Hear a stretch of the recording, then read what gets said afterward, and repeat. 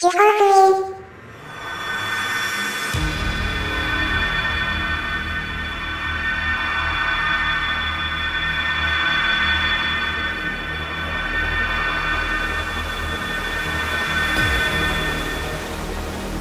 な、なんだ？これは、ご主人の力を10個のオーブに分けました。これを使えばご主人の力は全て失います。その代わり、このオーブが本来の持ち主に戻らない限り、私も力を失いますが、今のご主人を止めるにはこれしか方法がありません。メリア、よせ。封印。なんだこれは、つ、力が、抜けず、いく。なんだこれは、力が全く入らない。ご主人の力を全部抜いたんですから当然ですよ。ほら、見えますかお互いの戦闘力が1000です。これはご主人、今の最大戦闘力ですよ。だから私も天まで落ちた。おのれ、お前は一体何をしたか分かっているのか。はい、壊れた王は世界の脅威、なら私が構成させるまでです。はは、俺と同じく力を失ったお前に一体何ができるこれを使います。それはさっき消えたオーブ。これを経由すれば一つの能力を使うことができます。そもそもの原因はご主人の体制のない悪意という感情がいきなりとんでもない量入り込んだことが原因です。ならば方法は一つ、悪意に汚染された魂と器を開ければいい。そうすれば、全てが抜けたご主人の器だけは助かる。くっそ、いきなり力を抜かれたから体が言うことを。準備はできましたよ。分離。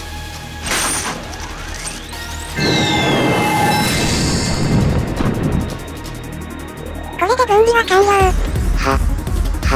は、は、連続品の主の権利は肉体に宿ります。つまり、汚染された魂だけのあなたには通常で攻撃が通ります。それに、器がないとあなたは力を発揮できない。戦闘力例に等しいですよね。待って待ってくれ。汚染されたあなたを消せば、全て解決です。やめろ、主を消すつもりか。今の主はあなたではありません。さようなら。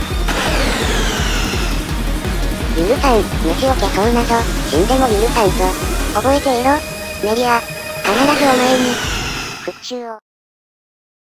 終わった。終わったんだ。うん、ごめんなさい。ごめんなさい。私の手であなたを、消してしまった。最愛の人であるあなたを。うん、辛いに決まってるじゃない？苦しいに決まってるじゃない？使命だけで何でもこなせるほど、私はまだ立派じゃないよ。メリアちゃん、パトさん。メリアちゃん。全部、見てたんですよね。うん、見てることしかできなかった。私もでかい力を感じて急いできて、見てた。私は、ご主人を、殺したんですよ。そんなことないよ。だって今、あなたのそばにいるじゃない？ですがこのご主人はただの器。記憶も、能力も、才能も、全てを失った。ただの抜け殻なんですよ。これを生きてるって言えるんですか？生きてるわよ。すべてを失ってもいいじゃない今あなたのそばにいてくれてるんだから。世界の宝を壊した私はどうすればいいの？ゆっくり直していこうよ。どれだけ難しいかわからない。でもそうしないと前には進めないよ。そう、だね。専属品である私がご主人を信じられなくてどうするのよね。ねえ、月下ちゃんとレイカさんにお願いがあるの？何？ご主人をあなたたちの家族に迎え入れてくれませんか？あなたたちの家族ならきっと、ご主人も安心して暮らせます。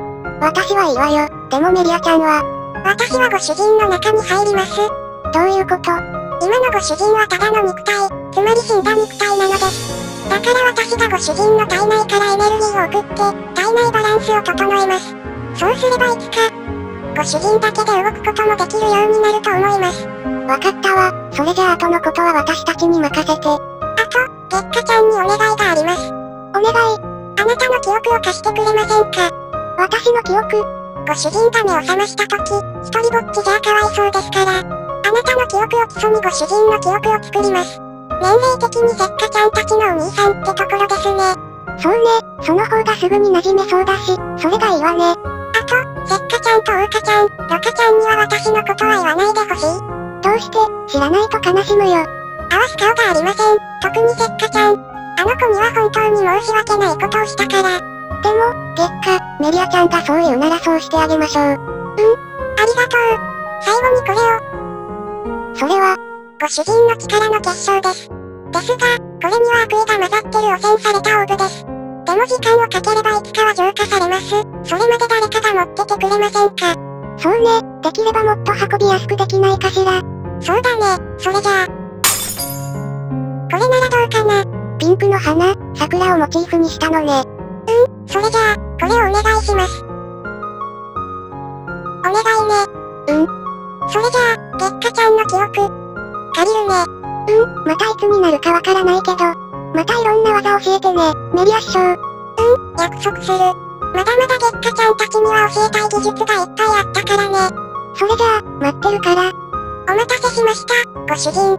長い間、あなたからは私は見えないし、憶にも残らないと思います。ですがずっと私はあなたのそばにいます。ずっと見守り続けます。だから、ご主人、幸せになってくださいね。こうして私は、ご主人の体内に入り、この2年間ずっとご主人の体を守り続けながら、今を過ごしていました。私は暴力争奪大会で嘘をつきました。本当の悪は私、そして、私はあなたの専属品だった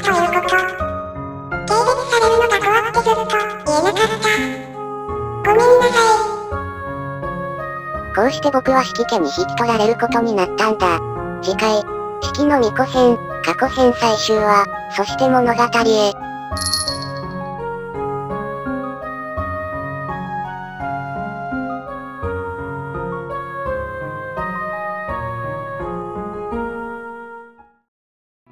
ご視聴ありがとうございました。楽しんでいただけたでしょうかぜひ気に入ってくださった方はチャンネル登録お願いします。他にも再生リストで過去の動画をまとめているので、気になった方はぜひ見ていってくださいね。それじゃあ寂しいけど今回の動画はこれで終わります。次回も私たちの動画を見てくれるとすごく嬉しいです。それでは次回も、楽しんでいってね